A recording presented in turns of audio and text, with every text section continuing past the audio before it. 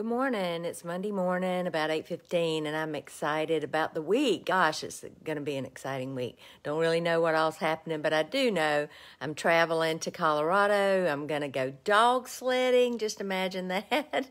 okay, so at 63, I'm going to be dog sledding.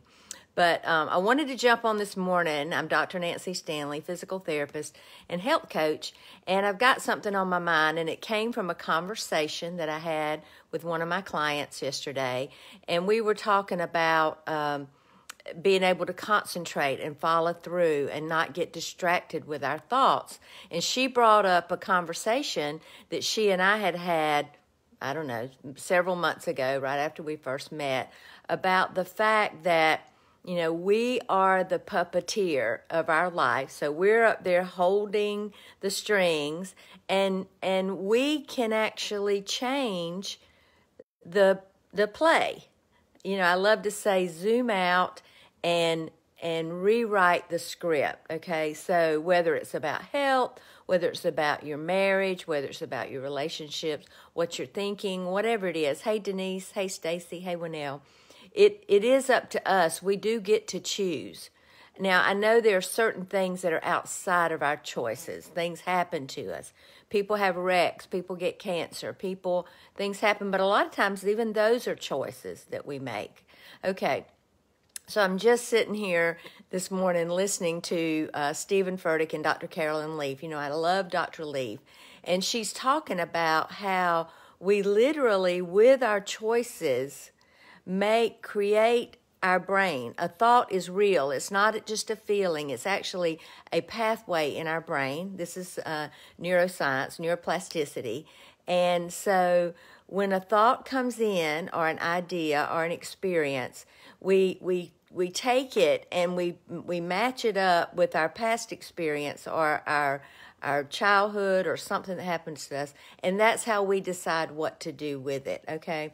So today, I want you to ask yourself the question Are you deliberately planning a, a day or a week that is designed by you? Or are you just allowing things to happen?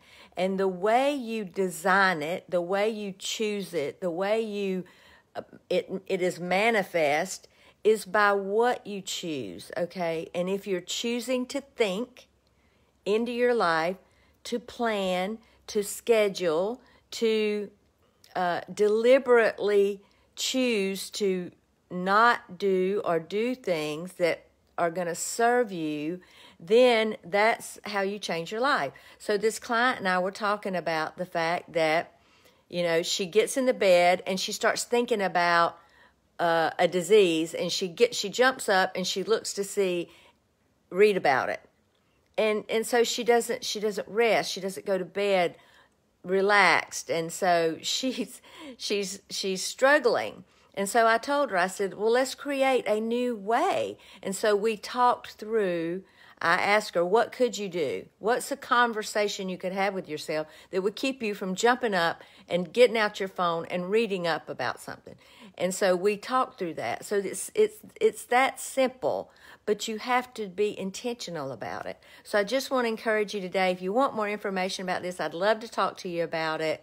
And um, I, I'd, I'd love to help you to create a new way. Just like for me, there were things I worried about. I don't worry anymore. Okay. I learned how to train my brain to not worry. And I'd love to help you with that. So message me. Let's get together uh, and, and let's learn how to go within so that we don't go without. And I hope you have a great day. I hope you'll choose. Uh, and it's not a flippant, like, I'm just going to choose happy thoughts. It's more than that. It's much more than that. So let's talk soon, and y'all have a great day.